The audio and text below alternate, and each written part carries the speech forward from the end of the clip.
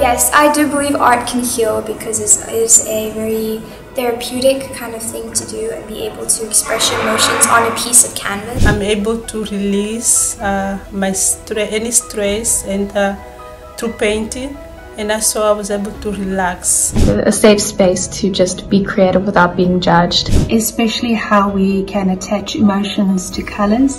And it was a lot of fun. It's something I've never done before. Helped me see them um, through a different perspective. It's an excellent way for us to explore our emotions and be able to express them through art. I was feeling down and depressed and uh, lonely and sad and so many other emotions and it helped me release some of them, release some of the tensions and the stress that I was feeling and that I was keeping inside and it was very emotional and very cathartic so to speak. And my experience with Art for Healing was actually quite surprising because I've never seen myself as an artist and so I had that fear at the beginning but I soon discovered that it didn't matter it really didn't matter. I found myself opening up through the instructions of the course and really being able to let go and that feels great. Art for Healing provided a creative outlet for my emotions. It is surprisingly refreshing and satisfying, especially when I saw the work of art I produced right in front of me. I was released and relaxed at the end of the session. I have joined it twice and each time I discover something new.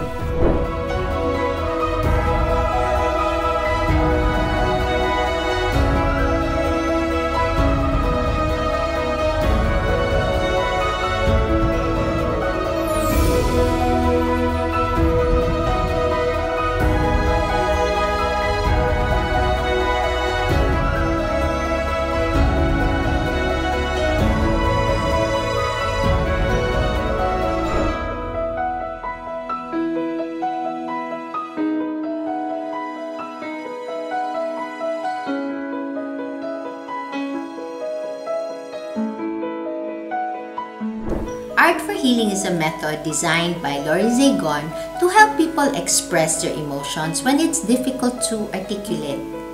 It's a process that supports emotional healing for those living with anxiety, fear, grief, pain, and stress. The workshops are structured exercises that evoke different kinds of emotions, where participants explore ways of expressing their feelings in a safe place using color and movement or some kind of energy onto a canvas. The workshops are encouraging, they're inspiring, they help build self-worth, and they're fun. Every session is a treasured experience. Each is a different highlight, but all of them are valuable.